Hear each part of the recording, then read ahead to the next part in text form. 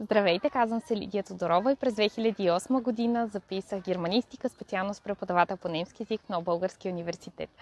Първото нещо, което ме впечатли, беше базата на университета, също така личното, но професионално отношение на преподавателите и възможността да участвам в много конференции и събития, организирани от програмата. А сега ще разкажа за три от тези събития и как те повлияха на моят професионален път.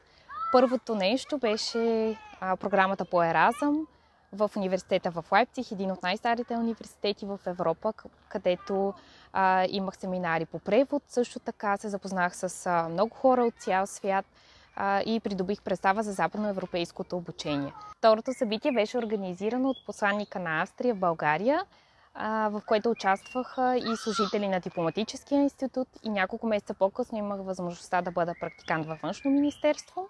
То нещо беше възможността да бъда член на Българиша Deutschlehrer Verband а, и да участвам в множество конференции, организирани от тях. След завършването ми на Нов Български университет намерих работа като преподавател по немски язик в частна школа за чужди езици. Там преподавах около година на хора от различни възрасти Междувременно бях доброволец в фундация, която ходеше по домове за деца в цялата страна, също и след това в така създадените ЦНСТ-та. Няколко месеца по-късно реших да съчетая немския език,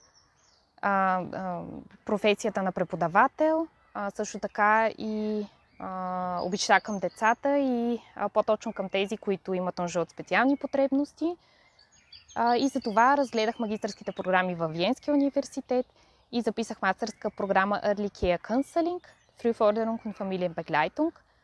Преминах през 5 годишно обучение и в момента работя като консултант по ранна интервенция към Община Виена.